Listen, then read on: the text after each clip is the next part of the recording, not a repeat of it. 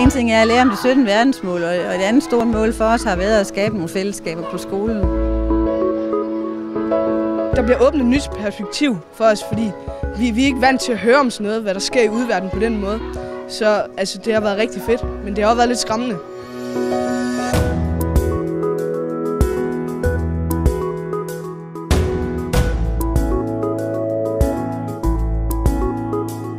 Så et kæmpe fællesskab og en, en samhørighed, øh, synes jeg, at det giver at lave sådan et projekt her.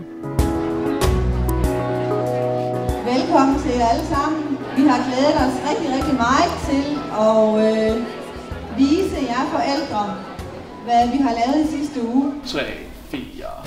Alle børn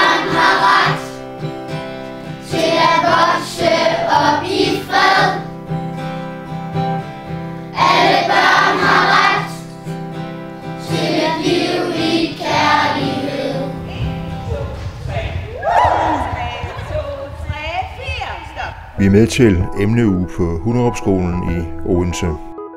Temaet er FN's 17 verdensmål for bæredygtig udvikling, og hele skolen har hen over uge 40 været involveret i flere forskellige projekter. Lige fra noget om bæredygtig transport, troede dyrearter, klimaforandringer Så rører der lidt ned her, så kører resten videre her. og verdenshavenes tilstand. En af grundene er, at vi jo arbejder med dannelse og hele dannelsesbegrebet. Og vi synes, at øh, der er rigtig meget dannelse i at, øh, at arbejde med, med FN's 17 verdensmål. Øh, det handler jo om at, øh, at, få, at få skabt en verden, som øh, bliver god at være i og bliver bæredygtig, så vi faktisk har verden rigtig mange år endnu. Og det starter jo her, det starter med os. Det starter med, at børnene bliver opmærksom på, hvordan, øh, hvordan vi skal passe på verden og passe på hinanden. Vi har lavet en planche, hvor vi har øh, tegnet en masse øh, elefanter. Og øhm, grunden til, at vi har tegnet elefanterne, det er fordi, at vores emne omhandler øh, troede dyr. Og så er de fuldstændig ligeglade med elefanten og dens familie. De vil bare gerne have stødtænderne, så de kan få en masse penge for dem. De vil bare gerne være rige og ligeglade med andres liv. Vi har om øh, handicap, og så har vi lavet sådan, hvor man skal se om, øh, om hvordan det er at være blind. Og på den måde, der skal man så stikke hånden ind og mærke, hvad det er, og så skal man prøve at se, om man kan gætte det. Det er vigtigt, at børn og unge i dag de er ansv- bliver ansvarlige og får øjnene op for, at øh, de bliver nødt til at gøre noget, også i de små steder, hvor de står, for at de også har en fremtid, øh, og deres efterkommere har en fremtid her på jorden. Det er stort sagt.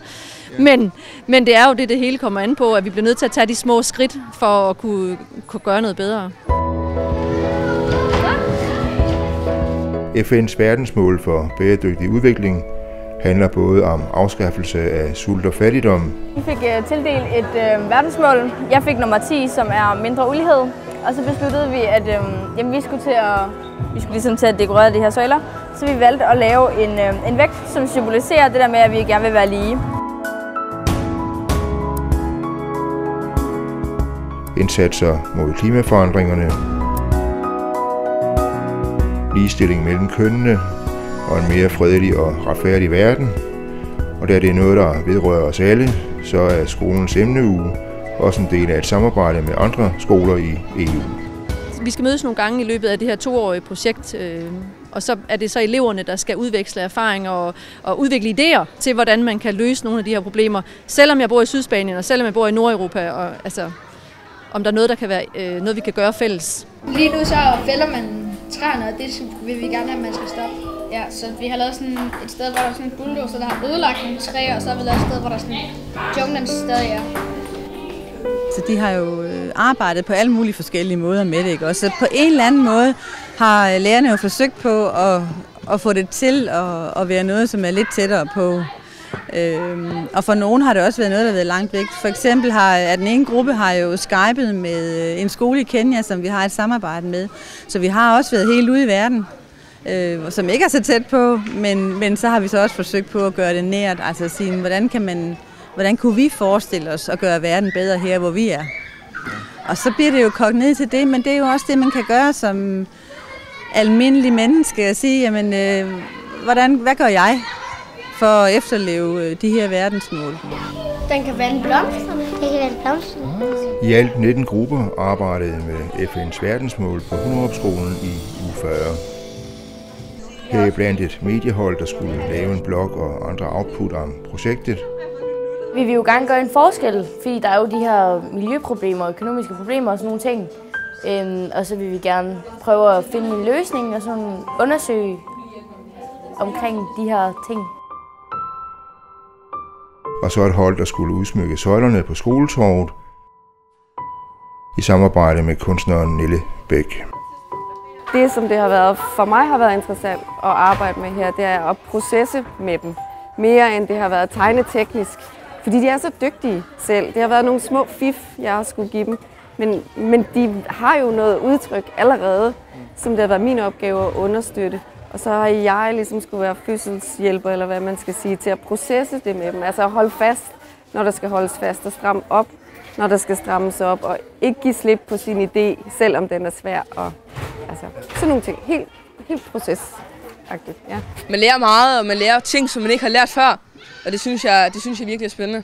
Jeg synes, det er ret godt det her med, at vi sådan får lov til at køre en hel uge med sådan et emne, i stedet for sådan kun en enkelt dag om sådan flere emner måske. Og så synes jeg også, det er ret godt. Vores hold her, vi kørte ikke med at sådan være sammen med de små, men, men mange af de andre var sammen med de små og store og sådan noget.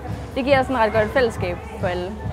Vi har haft emneuge før, men øh, den her emneuge har været sådan på en måde ekstraordinær fordi der er blevet gjort lidt mere ud af den end de andre. Men øh, ja, jeg vil rigtig gerne have en emneuge igen.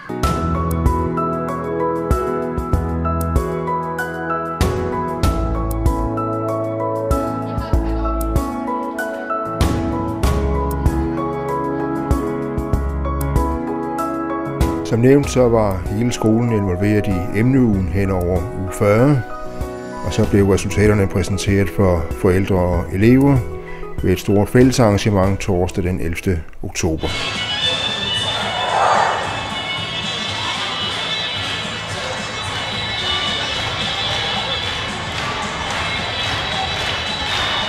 De har været sammen øh, en hel uge og har lært hinanden at kende, og det betyder jo, at øh, de små ikke længere sådan er lidt forskrækket i forhold til de store, og at de store har fået lov til at lære fra sig.